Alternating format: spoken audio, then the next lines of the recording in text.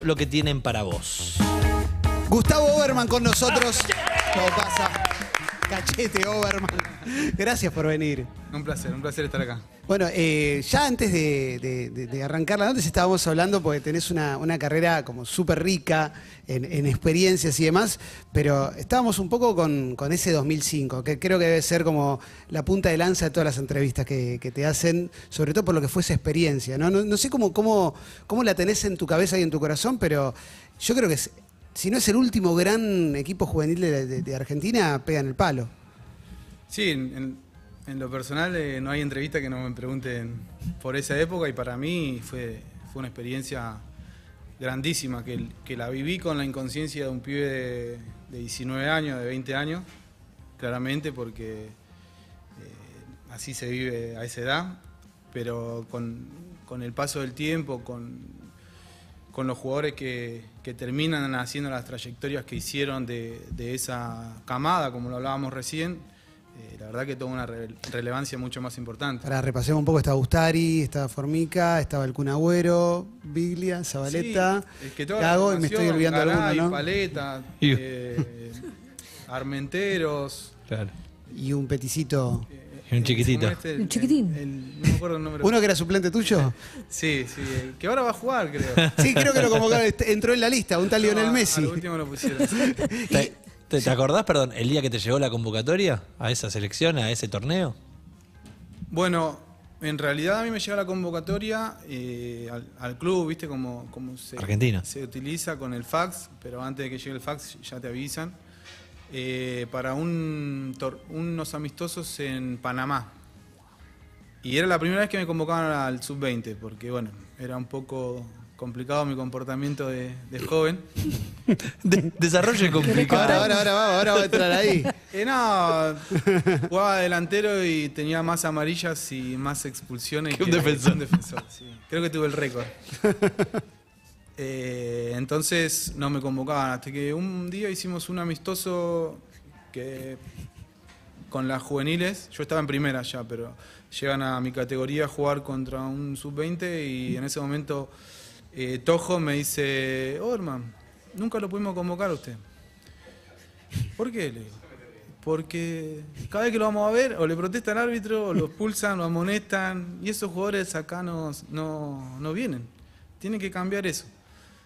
Bueno, cambié un poco eso porque también empecé a jugar mucho en primera y me convocaron. ¿Puedo, Sí. ¿Cómo haces para cambiar eso? O sea, digo, ¿qué, qué- o sea, vos te puedes decir a vos mismo, bueno, me tengo que calentar menos, pero ¿cómo lo lograste? Eh, trabajé con, con una psicóloga. Y te reís. Porque No, no, no, porque sí, es, es complicado. También cuando a mí me suben a, a primera, me, me juntaron con todo el equipo directivo de las inferiores y dudaban de si, te, si vas a ser como un inferior en primera, a las patadas te traen para acá de nuevo. Claro, eh, lo que, lo que pasa es que claramente eras muy bueno, porque te podrían haber cortado muchísimo antes también, pero Sí, evidentemente de- destacabas y por eso fuiste una selección que termina saliendo campeona del mundo y más allá del chiste, era una selección en la que de- terminó explotando Lionel Messi, o fue la- esa primera vez. Eh, no sé qué percepción tenías vos de Lionel, teniendo en cuenta que además vos eras titular ahí en ese equipo. Sí, fue, fue gracioso en realidad, porque ni yo me lo esperaba. Realmente, no, no, no, no los voy a engañar. si bien en ese momento, eh, como te decía, en la inconsciencia vos querés pelear de igual a igual, que es lo que necesitas para ir a una competencia. Si Total. vos te crees menos, sos menos. Sí. Entonces yo fui a jugar, no, no me importaba que en ese momento estaba Viti que, que la estaba rompiendo, José Sosa que la estaba rompiendo, y, y- y Messi que venía a Barcelona, el Kun Agüero, y, y yo argentino, digo, acá si no me la creo yo, Claro. no juego. Bueno, la situación fue que ya estaba el equipo armado con José Sosa de titular y Viti. Messi y yo éramos suplente con el Kun una práctica antes de la última práctica de fútbol antes de, de jugar el, el primer partido en un salto cae José Sosa se fractura la mano bueno faltaba el enganche entra Messi Sí. decíamos, tranquilamente puede jugar él vamos a la, a la charla técnica previa al partido porque no, no entrenamos más después eso fue la última práctica que hicimos Perdón, tengo un paréntesis acá. Esos entrenamientos y ese Messi, ¿demostraba esa, esa calidad que después no... Sí, de- O sea, se lo veía ahí, como Sí, latente. Sí, sí, sí, era otro tipo de jugador porque él evolucionó muchísimo en su juego, pero era imparable. Era imparable, lo veíamos, lo disfrutábamos en Claro. la Sí. práctica. Y bueno, viendo eso, voy a la- vamos a la charla técnica. Yo soy un poco, me distraigo, entonces cuando voy- sé que voy a jugar, eh, o sabía que iba a jugar porque no juego más, eh, voy adelante. Así Sí. estoy obligado a prestar atención porque si te distraes se dan cuenta. Claro, te, te armás como mecanismos para, para, para, para Y- ganarte a vos mismo, Y si no juego, me voy al fondo. Así si me distraigo no se nota. Si- a tirar tizas. Claro. y bueno, llegamos, estaba Ferraro de entrenador, estaba la, la placa de un papel afiche blanco ah, y él iba girando y iba mostrando el equipo. Bueno, yo me senté atrás, digo, no juego. Da vuelta el afiche, empieza a dar la, la charla y, y todos empezaron a mirar así, ¿viste? Yo miraba y me miraba la ropa para ver si me había puesto algo mal, ¿viste? La remera de otro color, porque todos me miraban a mí. Y cuando miro allá digo, no, juego titular. ¿No habías escuchado ¿Cómo no nada, lo pone? nada, nada, nada? ¿Escuchaste? No, no, no. No, no, cuando él muestra el equipo, ahí me doy cuenta que jugaba yo y no jugaba Messi. Y digo, no, ¿qué hizo? Voy a tener que jugar bien porque dura un tiempo. Y claro, bueno, pero está bien, pero termina siendo una experiencia que te da una anécdota, pero a la vez creo que es una re buena base. Y, y a lo que quería ir era la otra parte que habíamos hablado fuera de aire de los juveniles, que es. Es una etapa que no es solo fútbol, ¿no? Es una etapa que tiene mucho más que fútbol. Eh, Sí. Pienso en formación de personas también. Claro, ahí eso cambió mucho. De hecho, yo te decía, no me citaban porque era competitivo en los partidos, protestaba. Y eso antes era una regla eh, obligatoria que los jugadores tenían que tener una conducta Sí. para ir a la selección. Después de un tiempo eso se dejó de hacer, se vio reflejado en, en los resultados y en la forma de los resultados, porque la juvenil está bien, Argentina tiene que armar equipo para intentar ganar, pero no es lo obligatorio, porque Claro. son formativas de la, de la selección mayor. Entonces, cuando se pierden esos valores, ahí es cuando baja el nivel. Y estaba pensando que en, ese, en esa etapa, que es la etapa de Peckerman y Tocali, justo antes de eso, Argentina había, había estado suspendida de los mundiales juveniles por un quilombo que se había armado en una selección que dirigía Reinaldo Carlos Merlo, que después pasa a ser tu técnico en River. Y entonces vos venís de- del mundo Tocali y vas al mundo Merlo. Y no sé cómo fue la relación, pero tengo entendido que como que él no era muy fan de tu conducta o que te acusaba acaso de salir un poquito de más o de vivir tu vida. Después con, con el tiempo entendí lo que él hacía. Un poco. Yo, eh, si bien no tengo una relación con él, cada vez que lo cruzo hay, hay buena onda, ¿no? No hay que Sí. termine mal, ni, ni mucho menos, pero él tiene una forma de, de conducción de grupo donde a los más grandes eh, no les dice muchas cosas, no, los, no les llama la atención. ¿Qué hace? Le llama la atención a los más chicos para que escuchen a los más grandes. Es algo que se hacía antes. Sí. Y a mí me acusaba de ir a lugares donde no iba. Pero después yo me enteré que los más grandes iban ahí. Entonces él me usaba a mí Claro. y me decía... Eras el chivo. Te vimos ahí, no salgas más, me decía. Y claro, los más grandes se daban cuenta que los habían visto. Ah, era una gran, una gran estrategia, pero si vos no te das cuenta te da bronca. No, sí, yo me enojaba. claro, porque Yo ¿cómo- me- ahí no me daba cuenta, después me enteré yo. Ah, Yo- es Y espectacular. hasta que un día le dije, mi- adelante de todo, me enojé y le digo, eh, mirá, yo ten- tenés el teléfono de mi casa, del departamento donde me alquiló River, tenés el teléfono de la casa de mi mamá, llamá a la noche, a cualquiera lo doy, yo en uno voy a estar. O Excelente. sea, no, no tengo problema en que me llamen. Es Gustavo Oberman que está hablando con nosotros, estamos repasando su carrera y tiene muchas instancias. No, me acordé de una anécdota de Luciano Castro, el actor que también jugó al fútbol y que fue dirigido por Mostaza, que Mostaza decía, ¿te gusta la noche? Y Luciano le dijo, a vos no, a vos no, y se peleó. Bueno, eso también, claro. Es, ¿Igual te plantabas con los técnicos en general o eras más, más, más tranquilo? No, más, más cuando, dentro de la cuando cancha? era necesario sí, sí porque, digamos, no estaba mal, si es con respeto o con, o con Sí. contenido, sí, no. Me han pasado situaciones que, que no... Una. Regálanos una. Un partido que jugué muy mal y el técnico era Chiche Sosa, Sí. también de esa escuela. eh, me sacó y yo había jugado mal. Realmente tendría, tenía que salir, pero me sacó justo cuando me Empezaste mandé a una. andar, claro. No, me mandé una y me sacó, entonces ya me iba a sacar antes, pero justo la última jugada mía fue mala y salís peor todavía. Y me dan un agua, viste, que te dan en la camperita el agua así, y yo hago así con el agua pensando que estaba tapada y estaba abierta. Me fue toda la espalda, chichi. y después el vestuario, ¿qué pasa? Cuando No, el lunes. El, el lunes después del partido me agarró Chiche, Pistola Vázquez y el profe. Nada, me mataron. ¿De todo? De- de Te todo, dijeron me de todo. dijeron, de todo. ¿Y ahí qué haces? ¿Pedís perdón? Ah, ¿Qué? sí, pedí perdón. De hecho, lo hice antes. Lo había, había pedido perdón y me hice la última oportunidad que me daban. y- pero después, vi- yo estaba jugando bien. Entonces, sabés que tenés un, un changüí ahí. La botellita es un arma, ¿eh? porque hemos visto Sí. situaciones donde es más fácil que la terminen tirando y mojando a Sí, alguien. total. Vimos en Boca hace poco en un banco que se agarró una piña, ¿viste? Dos como Sí, por o- mojarse. O el pocho tirándole agua a Sabela Eh, también. esa- esa en- propósito. En 2014. Hay técnicos a los que, o sea, un, calculo que con el correr de, de tu carrera te vas dando cuenta quién está más formado, o no más formado, sino que tiene más claro lo que le quiere decir al jugador. ¿Hay alguno, que, sin hacer nombres, que vos digas, este no tiene ni idea y tira fruta todo el tiempo? ¿Llegan Sí. esos técnicos? Hay algo que es que pasa en todos los, todos los planteles, todos los jugadores. Llega un técnico nuevo con trayectoria, sin trayectoria y lo analizás. Lo- le mirás los gestos, le mirás eh, para dónde mira cuando te habla, para dónde, cómo está parado, si lo notas nervioso.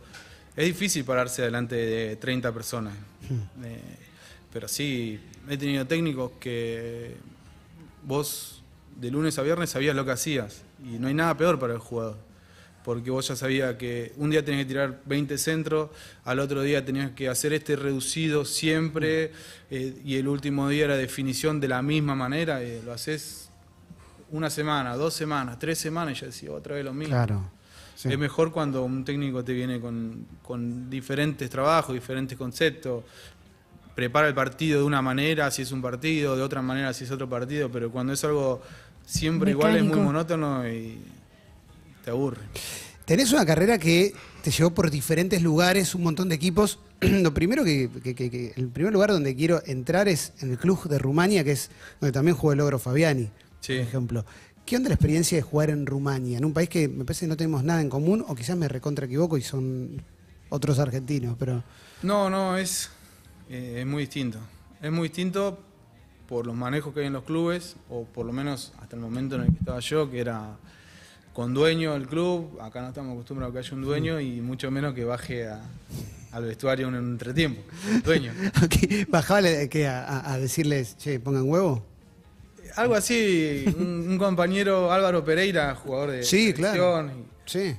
y, y del Inter, el Porto, Sí, con sí. trayectoria, agarró un tiro libre y lo pateó. Lo pateó muy mal en el primer tiempo. Y bajó el, el- en el entretiempo a decirle que no patee más tiro libre porque le iba a cobrar multa.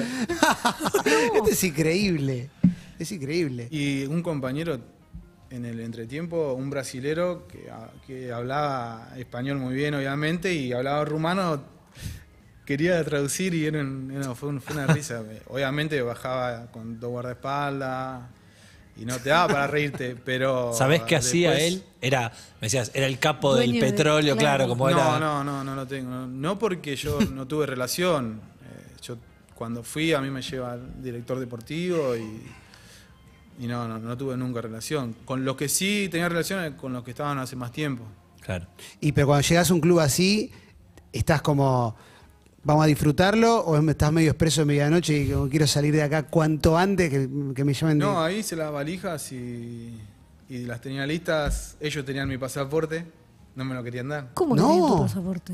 Sí, es como pasa en, en algunos países. Vos llegás, das el pasaporte para que te fichen o para los viajes o es, y eso y se lo quedan. Pero estás de rehén. Y es expreso de medianoche total. Total. Y pará, ¿y cómo, cómo, te, cómo te fuiste? No, no, porque me dijeron, si te vas tenés que pagar la rescisión. Y dije, nada, me quedo. no estoy tan enojado.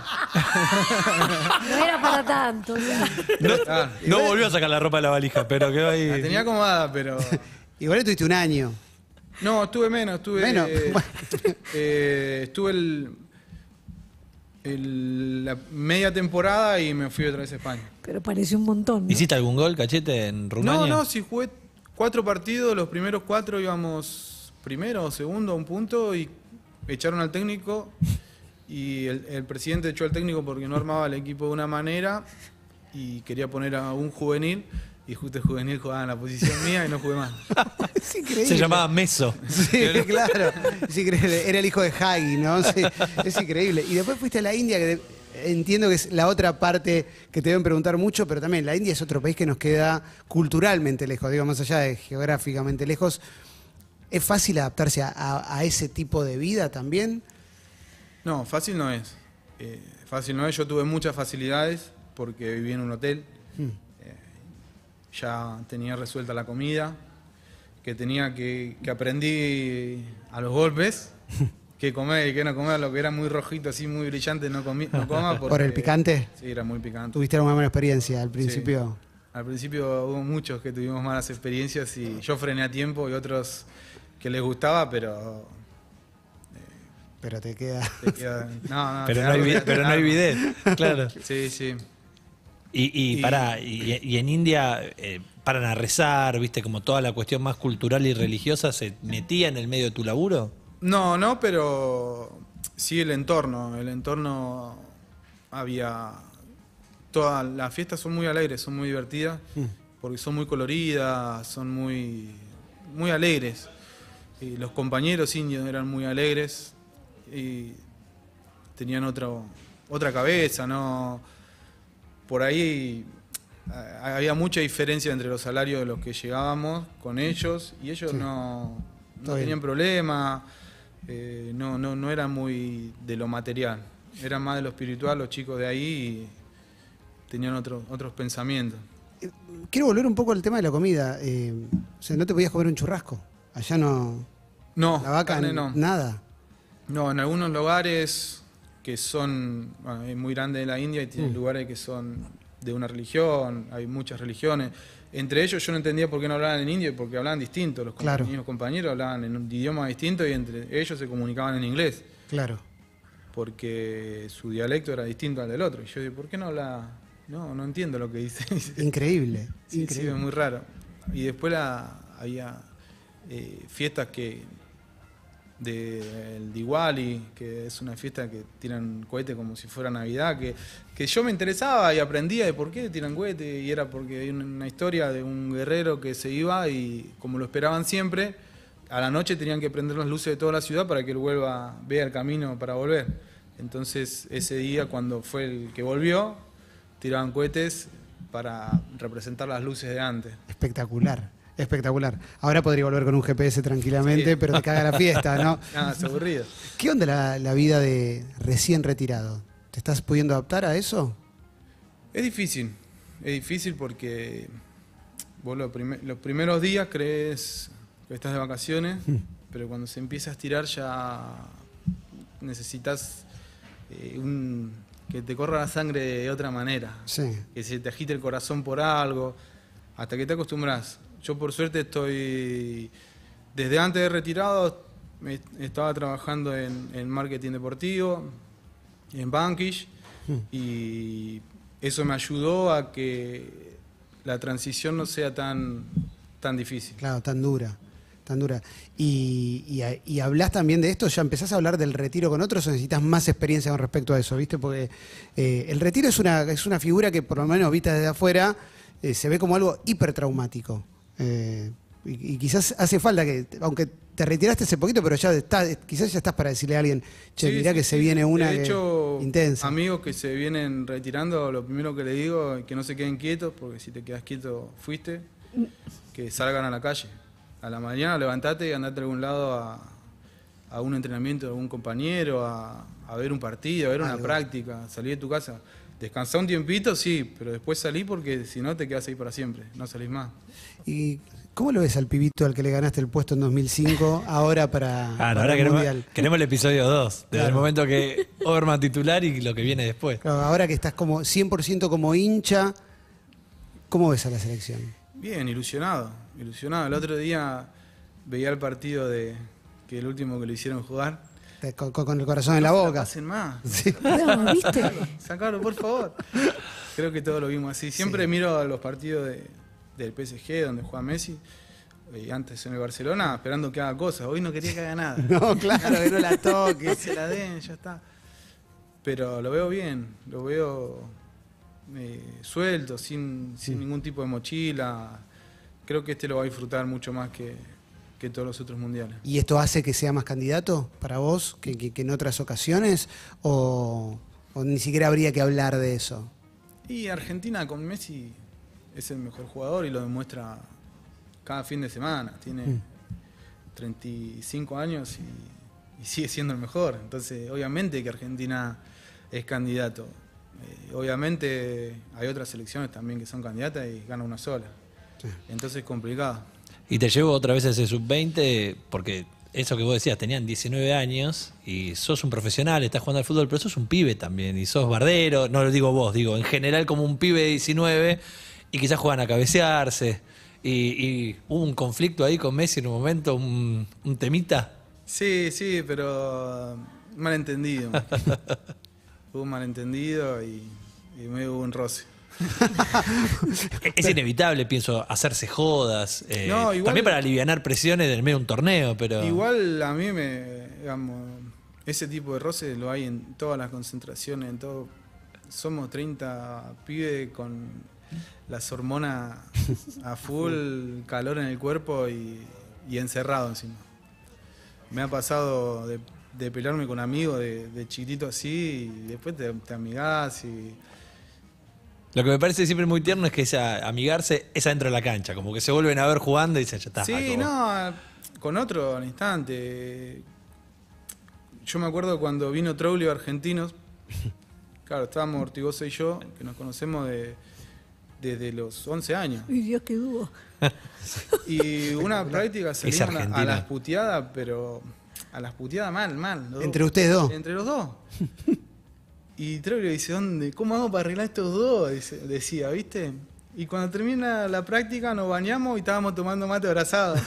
¿Y a ustedes dos qué les pasa? Dice, se estaban puteando hace dos segundos. No, no te preocupes, somos así nosotros. Hermoso, hermoso, hermoso. Menos mal, porque yo ya, me, yo ya me quería ir. Dice, si se pelean ustedes dos, que son los referentes del club, ¿qué, qué hago? ¿Cómo arreglo este plantel? Ah, es espectacular, es espectacular. Eh, Gustavo, gracias por haber venido a charlar un rato con nosotros. No, es un placer, un placer y me has acompañado en muchos entrenamientos. Vamos Desde la todavía. radio. Esa. bueno, muchas gracias, loco, muchas gracias. Gustavo Cachete Oberman pasó aquí por todo pasa.